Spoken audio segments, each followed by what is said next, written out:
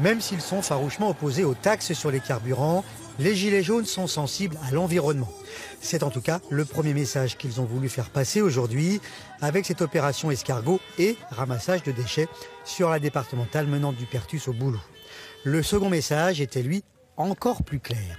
On commence à nettoyer la France. On ramasse toutes les ordures et on va traverser toute la France en ramassant les ordures et on finira à l'Elysée.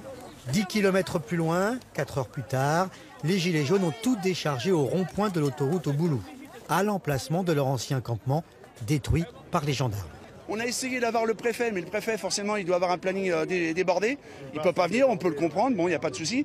Donc, du coup, comme c'est notre campement, eh ben, on, on le ramène là.